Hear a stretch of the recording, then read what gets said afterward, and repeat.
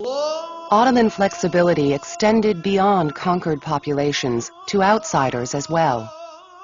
Some 40 years after making Constantinople their capital, they opened the city's gates to a flood of refugees. By the 1490s, Catholic Spain and Portugal had finally driven out their longtime North African Muslim rulers.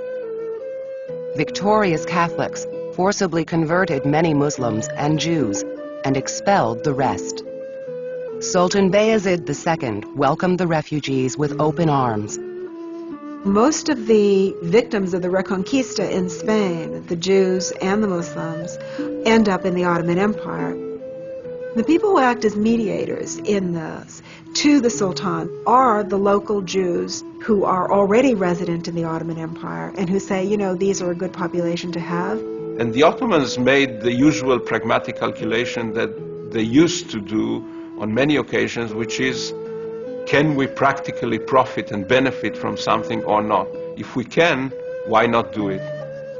15th century Ottoman openness toward minorities stood in stark contrast to the massacres and expulsions of Western Europe.